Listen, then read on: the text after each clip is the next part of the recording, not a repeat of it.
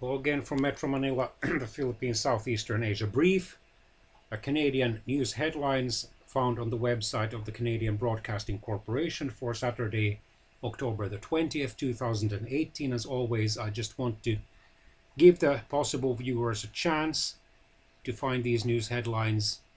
They're in a primitive, here in a primitive form, admittedly, but no copyright infringement is ever intended by me in these informal broadcasts. Privacy Commissioner investigating personal data collection at cannabis stores. Um, 100 hour work weeks, competition in video game industry fuels concern over extreme overtime. Bud and breakfast, Canada's cannabis tourism industry is about to take off. Icelandair plane makes emergency landing in Bagot in Bagotville, Montreal, Quebec, due to cracked window. I owe my life to this game, Jordan Tootoo retiring from NHL.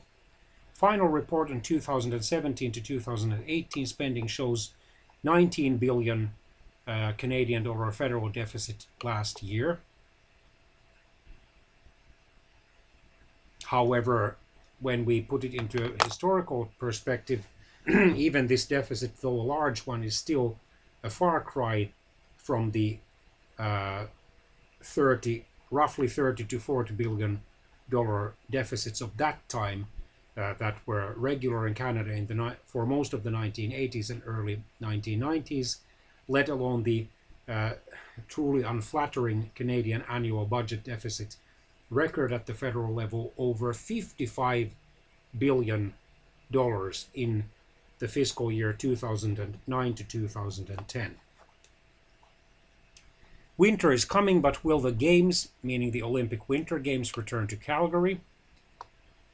Calgary Police Association files grievance over cannabis ban for officers. Workers tied up in armed attack on legal Ontario pot grow op. Tokenism and optics. Inuit orgs or organizations slam the federal government on Nutrition North consultations. Toronto police create first ever missing persons unit in wake of McArthur investigation. Okay, uh, the last two headlines for were for October the uh, 19th. Sorry.